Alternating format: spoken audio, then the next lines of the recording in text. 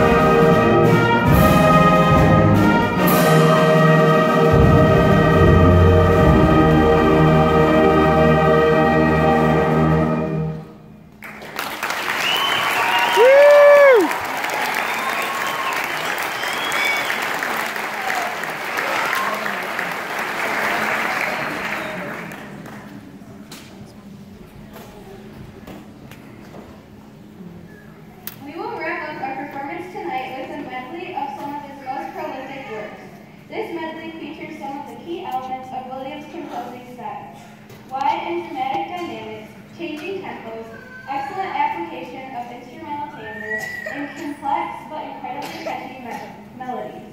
This will be our final performance with the Handy Middle School Band.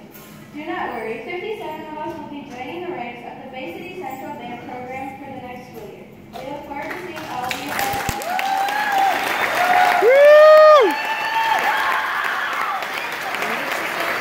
Fifty-seven are joining the Central Band next, next school year.